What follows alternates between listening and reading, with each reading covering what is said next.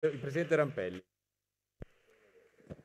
La ringrazio Presidente. La prima notizia è che manca non solo il Presidente del Consiglio, sarebbe auspicabile, noi abbiamo anche chiesto, ma anche il Ministro dell'Economia, pur eh, stando discutendo eh, da poco tempo, i tempi come sappiamo tutti sono stati davvero ingenerosi quelli lasciati dal Governo, dalla maggioranza al Parlamento, della legge di bilancio.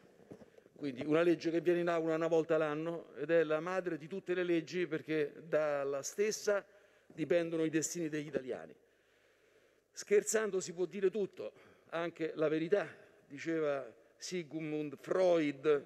E quindi io voglio, senza che voi ve la prendiate a male, cercare di fare una breve disamina su quello che ci troviamo comunque di fronte, perché in tanti, anche da parte della maggioranza, riservatamente ma pure pubblicamente, insomma, interventi agli atti della Commissione e anche agli atti del Parlamento italiano, hanno teso a sottolineare una sorta di ulteriore, se possibile, mortificazione del Parlamento italiano messo alle corde dal Governo in un rapporto asimmetrico dove il Parlamento, per responsabilità esclusiva della maggioranza, non riesce a reagire ad atti di assoluta protervia.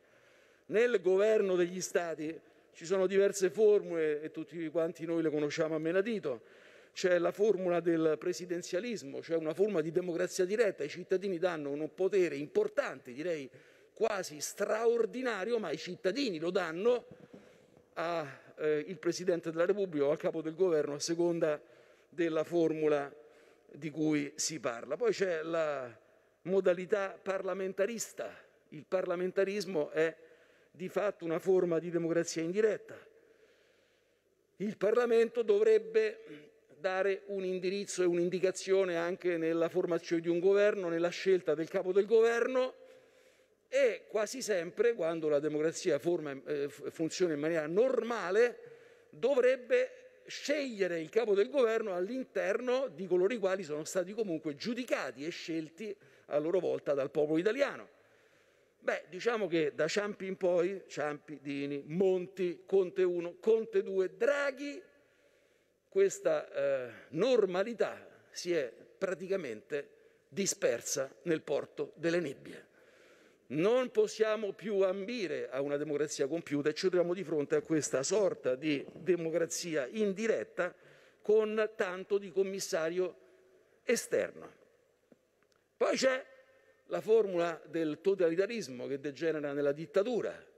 Eh, e tutti quanti la condanniamo, però diciamo che c'è chiarezza quando c'è la dittatura, si sa che c'è comunque un conculcamento delle libertà fondamentali c'è un conducator prepotente, arrogante e chi lo vuole scalzare deve combattere con tutte le sue energie per poter riconquistare la libertà.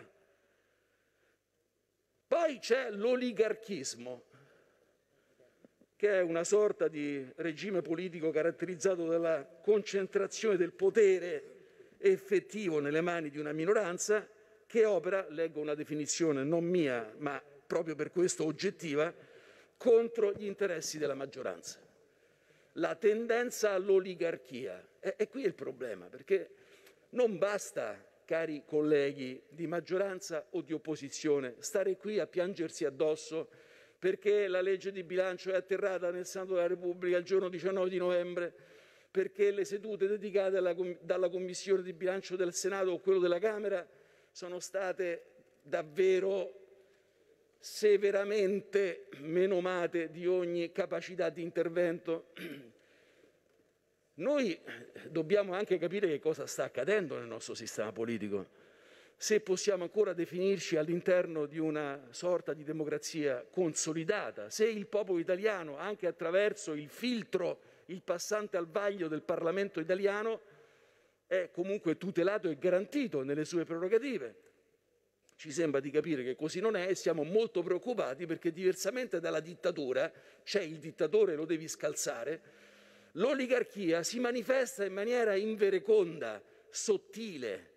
L'oligarchia, soprattutto quando è gestita da tecnocrati, è fluida, c'è una sorta di sovrappotere che pervade tutto. Diciamo le cose come stanno. Gli stessi ministri della Repubblica Italiana non sanno che cosa sia questa legge di bilancio Le leggi di bilancio teoricamente vengono di fatto costruite dai funzionari e dirigenti dei ministeri, ma in pratica vengono assorbite delle indicazioni che provengono da altrove, da altrove. È questo il punto. Noi siamo estremamente preoccupati e dovrebbe esserlo qualunque parlamentare della Repubblica Italiana perché la democrazia è obiettivamente in pericolo. È un'affermazione forte, senz'altro.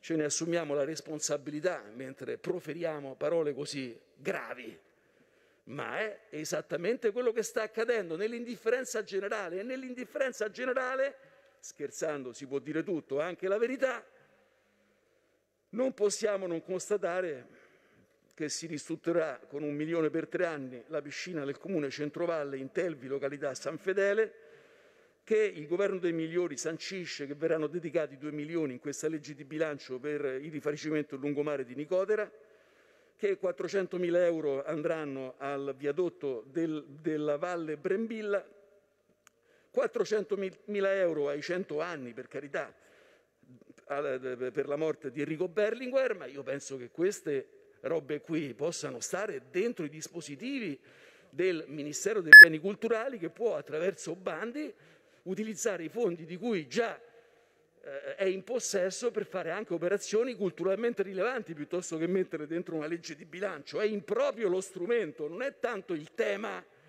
del merito su cui ci si, ci si va a misurare. Un milione di euro va all'orchestra giovanile Luigi Cherubini, 500.000 euro per tre anni all'associazione Senza Spine e all'associazione musicale Gasparo da Salò, alla società cooperativa Sandif Diffrazioni Sonore, all'associazione filarmonica di Benevento, all'ensemble Mare Nostrum, all'associazione Filarmonie e Orchestra Giovani Europei, alla chiesa San Pietro in Colle, comune di Caldiero. Poi c'è una ristrutturazione secondo norme antisismico della scuola Leopardi, di una scuola Leopardi, comune di Trofarello, per tre anni e la ristrutturazione di una palestra della scuola Giacomo Leopardi. E via discorrendo perché ci sono 200.000 euro per gli 80 anni dalla Fondazione della Democrazia Cristiana che vengono elargiti alla Fondazione De Gasperi. Ricordo così sommessamente che abbiamo anche dedicato nella scorsa legge di bilancio, quindi la questione è patologica, centinaia di migliaia di euro per festeggiare il centenario del Partito Comunista Italiano, peraltro senza neanche particolare, diciamo così, sobrietà, visto che proprio ora, proprio ora, ricorre il trentesimo anniversario della caduta, fortunatamente, del comunismo e dell'Unione Sovietica. Quindi diciamo così di un tentativo di conquista da parte del popolo russo e dei popoli europei conseguentemente alla caduta del muro di Berlino, di conquistarsi delle libertà che erano state conculcate nello spazio di decenni. La cosa stravagante è che dentro tutto questo pacchetto la maggioranza, attraverso un emendamento, ha voluto inserire il decreto antifrode attraverso un emendamento. Un decreto antifrode che evidentemente non è efficace verso il Parlamento, che invece viene frodato letteralmente per le modalità con cui vi presentate al suo cospetto. Nel merito delle questioni trattate, ve l'abbiamo detto e lo ripetiamo in lungo e largo, c'è la questione annosa del reddito di cittadinanza, noi non ce l'abbiamo certamente con i disoccupati, figurarsi. Orgogliosamente continuiamo a rappresentare la destra sociale e popolare che comunque interpreta i bisogni di tutte le categorie in maniera trasversale, ma in modo particolare delle categorie più fragili. Però a coloro i quali sono disoccupati va dato un lavoro. È il lavoro che consente, attraverso la conquista della dignità, l'emancipazione di una persona. E se questi quattrini fossero stati dati secondo la formula più assumi, meno paghi, emendamenti presentati da Fratelli d'Italia, alle imprese, forse avremmo nel corso del tempo avuto persone formate, anche nei tre anni dati. Al terzo anno o si stabiliva un rapporto fiduciario tra la persona assunta e l'impresa e quindi il rapporto si stabilizzava o nel caso di un licenziamento, chiamiamolo così, comunque la persona che usciva dall'impresa sarebbe stata migliore di prima perché avrebbe imparato un mestiere. Abbiamo la questione del super bonus. Voi avete raggiunto dei risultati, noi ve l'abbiamo anche, colleghi della maggioranza e governo, eh, certificato, ma il tema del super bonus non è soltanto il rinvio e la rielaborazione delle modalità al 2023 al 2025, c'è un tema grande come una casa che voi avete finanziarizzato questa enorme possibilità di ripresa economica di un settore storicamente trainante per la nostra economia.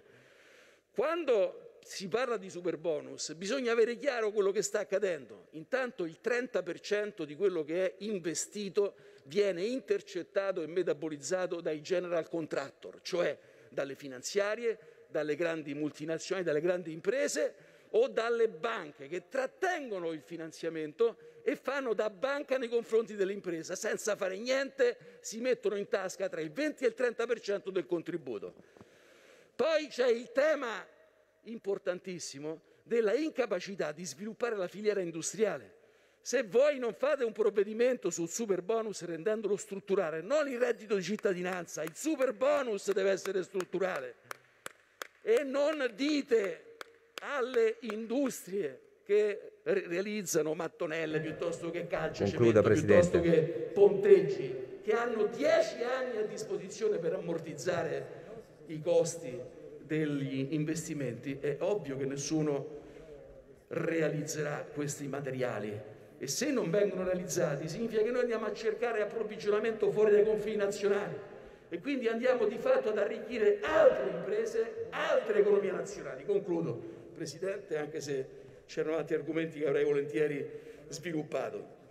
Avete perso ancora una volta, purtroppo nell'incrocio col PNRR approvato attraverso il decreto poche settimane fa, l'occasione per far produrre nuova ricchezza all'Italia per abbassare la pressione fiscale, per intervenire sul cuneo fiscale e quindi abbattere il costo del lavoro, per mettere in tasca ai lavoratori due terzi dell'intervento che si potevano fare con gli 8, preferibilmente 12 miliardi e un terzo alle imprese.